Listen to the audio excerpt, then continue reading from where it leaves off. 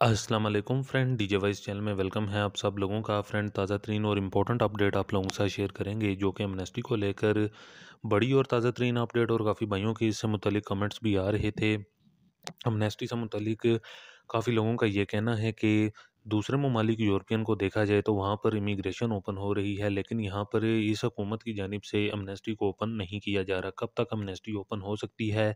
इस हवाले से काफ़ी भाइयों के कमेंट्स आए हैं।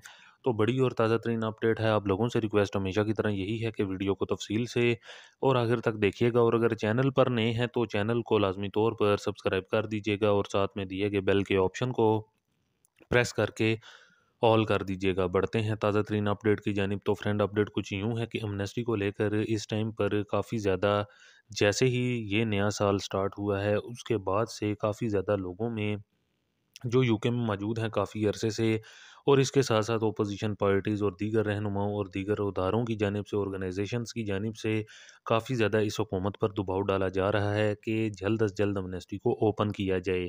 क्योंकि एक बड़ी वजह तो ये भी है क्राइसिस और शॉर्टेज है। दूसरी बड़ी वजह वो इमिग्रेंट्स जो कि काफ़ी अरसे से यूके में मौजूद हैं और काफ़ी अरसे से वेट कर रहे हैं, जहाँ पर एक तरफ़ यूके का ला भी यही कहता है कि उनको लिए बुनियादी हकूक़ तमाम तर देने चाहिए, जिनको इतना ज़्यादा अरसा यूके में रहते हुए हो गया हो और उनका स्टेटस भी क्लियर हो, वहाँ पर हुकूमत की जानब से मज़ीद डिले ही देखने को मिल रहा है। तो काफ़ी ज़्यादा चांसेस हैं कि फरवरी के माह में कोई ना कोई बड़ी अपडेट लाजमी तौर पर निकल कर सामने आएगी। अमनेस्टी से मुतलिक कोई ना कोई नई स्कीम लाजमी तौर पर बनाई जाएगी। जैसा कि ऋषि सोंग की जानब से कहा गया है कि हम इस पर काम करेंगे और इसके बारे में सोचेंगे। लेकिन आपको बताते चलें कि अगर इस हुकूमत की जानब से कुछ ना किया गया तो नेक्स्ट हुकूमत ये कभी भी नहीं बनेगी। क्योंकि इलेक्शन भी करीब हैं तो नेक्स्ट हुकूमत फिर कोई और ही आएगी जो इमिग्रेंट्स के हक़ में आवाज़ बुलंद करती है। जैसा कि काफ़ी ज़्यादा चांसेस लेबर पार्टी के हैं।